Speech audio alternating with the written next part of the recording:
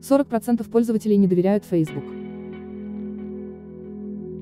Вопрос конфиденциальности данных последнее время стал достаточно остро. Множественные скандалы, особенно с участием Facebook, заставили людей в очередной раз задуматься над вопросом того, существует ли вообще конфиденциальность в сети. Аналитики компании Talana решили провести опрос, чтобы узнать, каким технологическим компаниям пользователи доверяют в меньшей степени.